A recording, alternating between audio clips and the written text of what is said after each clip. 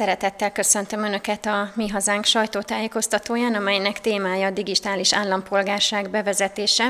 Ezzel kapcsolatban arról tájékoztatom Önöket, hogy a Mi Hazánk mozgalom az Ombudsmanhoz és az Alkotmánybírósághoz fordul a digitális állampolgárság bevezetéséről szóló törvény kapcsán, hiszen több olyan alkotmányossági alapelv is sérül, amelyet szerintünk nem szabad megengedni. Egyrészt sérül maga a normavilágosságnak a követelménye, másrészt adatvédelmi, adatkezelési szabályok is teljes mértékben sértik az alaptörvényt. Önmagában az adatkezelés és a mesterséges intelligencia két olyan témakör, amely már a szabályozni kívánt témakör pontos ismerete nélkül is nehezen képzelhető el rendeleti szintű törvények, rendeleti szintű szabályozással, és ez a javaslat számos kérdést utal ebbe a témakörbe. Aggályosnak tartjuk azt is, hogy ezen törvénytervezet alapján fennáll a lehetősége a személyiség profil kialakításának, amelyet már egyébként az úgynevezett rendszerváltozáskor az Alkotmánybíróság megtiltott, és kifejezetten csak diktatúrákra jellemző. Egészen elképesztőnek tartjuk azt, hogy 50 évig kezelheti az állam az adatait, a felhasználói profil megszűnését követően is az állampolgároknak.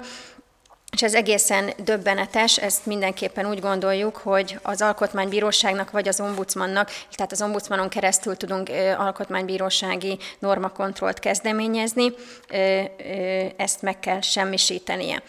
Tisztában vagyok azzal, hogy benyújtotta a kormány egy alaptörvénymódosítást is, amely tartalmaz a digitális állampolgárságra vonatkozó szabályt is, ugyanakkor ez nem szünteti meg azokat az aggályokat, amelyek felmerülnek a törvénytervezettel kapcsolatban. Ráadásul rendkívül aggályosnak tartjuk azt, hogy kötelezően bevezetendőként határozza meg a hetedik paragrafus azt, hogy csak ezen a módon lesz lehetősége az állampolgároknak minden szolgáltatást igénybe venniük, és eznek az időpontját is ráadásul rendeletben kívánja meghatározni a kormányzat.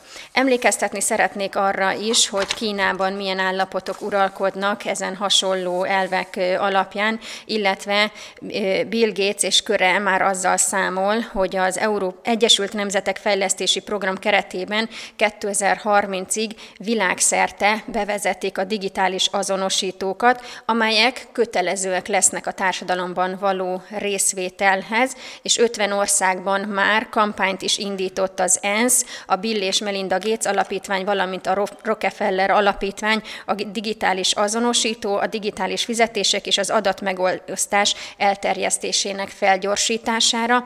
A mi hazánk a leghatározottabban tiltakozik az ellen, hogy Rogán Antal, a Világgazdasági Fórum legvidámabb barakjává tegye Magyarországot, és ha a szuverenitás védelmet annyira hangoztatja a kormány és a Fidesz, akkor ez az egyes állampolgárok esetében is meg kell, hogy állja a helyét, és rájuk is vonatkoznia kell. Tehát az emberi szabadság védelmében az ombudsmanhoz és az alkotmánybírósághoz fordul a Mi Hazánk mozgalom.